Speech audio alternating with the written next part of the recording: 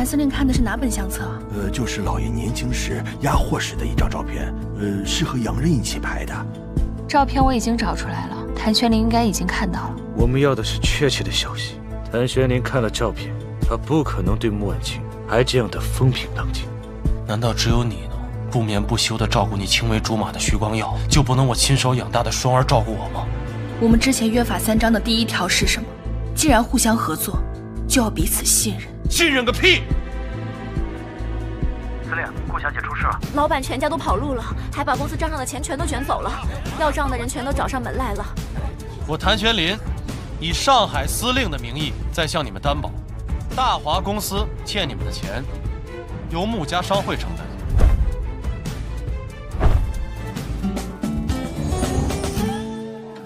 这里没有外人，你跟我不用演戏。你是不是有有事瞒瞒着我？就当我是一个阴晴不定的混蛋吧。可你明明就不是啊！你告诉我一个理由好不好？我们之间发生了什么？我连原因都不知道。我觉得我快坚持不下去了。那就别坚持了。你休想让我这么不明不白的放弃。谭轩林真的把穆婉清当成仇人的女儿，穆婉清也当真了。哭了好半天。你和婉清到底是怎么回事？我跟穆婉清的事，轮得着你插嘴吗？你说要为婉清挡住所有的黑暗，为她争取一丝光明。你说过你要给她幸福，你言而无信。徐光耀，你有什么资格说我？你自己心里没有想过他吗？我退出不是因为我不爱他，而是我尊重他的选择。但如果他选择了一个混蛋，我也绝不会就此罢休。管得着吗？就算我是个混蛋，我不要他，他也会死皮赖脸的跟着我。从今天开始，你别再烦我了，知道吗？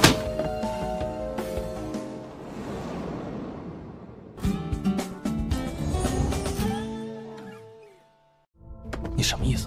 只有切断你与外界的一切联系，别人才无话可说。你现在在为你的父亲做帮凶，我是在救你。救你？你救我的方式就是让我坐以待毙。不用找了。回去数吧。婉清，你要出去啊？我去喝杯咖啡。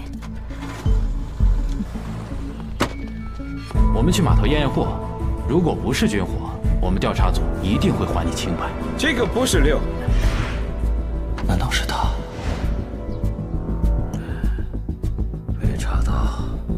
能人赃并获，得做两手准备。进去。顾小姐，这个忙还真只有你能帮得了。谭玄林到底把军火藏在哪儿了？有人举报说穆家码头藏有违禁物品，跟我们走一趟吧。婉清，难道他们真的查到了军火？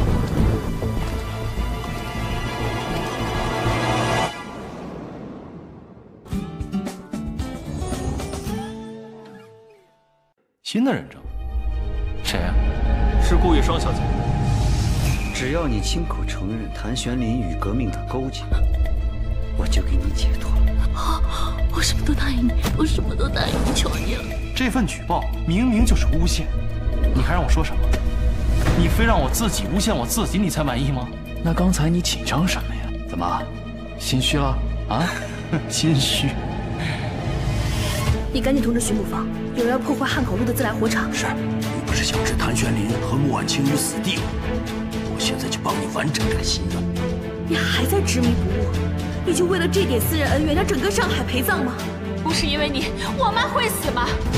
就因为这点私人恩怨，我让整个上海陪葬，怎么了？既然你让送死，那就怪不得我了。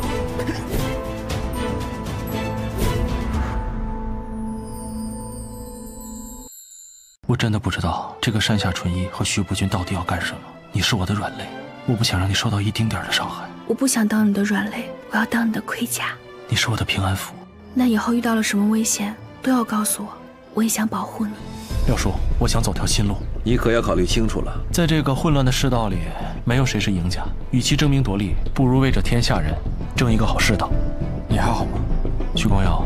我不想成为你的敌人，但如果有一天我们在战场上相见，我一定不会心软。希望这一天永远不会到来。你还记得你第一次陪我来这里的时候，我喊的是什么吗？上海，我回来了。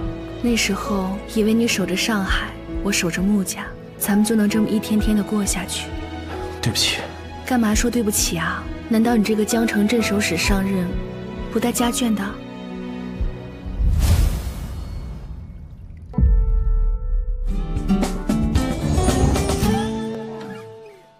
四小姐发来电报，说她不能来参加婚礼了。她真的猜到你的打算了。谭四，以我的名义登一份声明，就说谭家四小姐谭桑榆生性顽劣，忤逆长辈，故将其开除出谭氏宗祠。谭司令是北京政府任命的镇守使，可带来的这些私兵，我不能接收。我只想带他们回家而已。他们只不过是上海一个商会的民团罢了，把这些人带回来，不太合适吧？江城来电，事情进展得很顺利，谭玄林没有发现。他能死在江城，也算是落叶归根了。哎呀，没事吧？呼吸不上来了。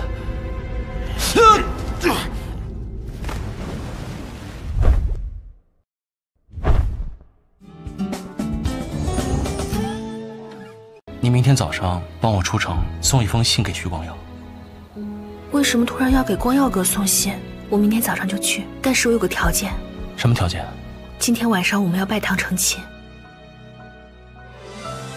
我们把名字写上，从此以后你中有我，我中有你。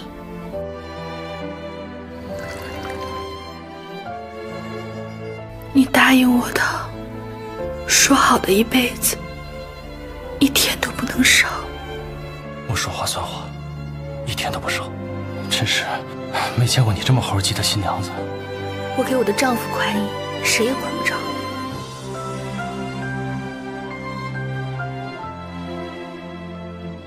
信收好了吗？嗯。平安符带好了吗？一直带着。我给你求的肯定灵验，子弹绕着你飞也打不着你。我信。真不敢想象，晚清小姐看见这封信。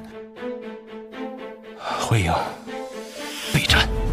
通知刘父，让他务必今晚动手杀了谭雪林。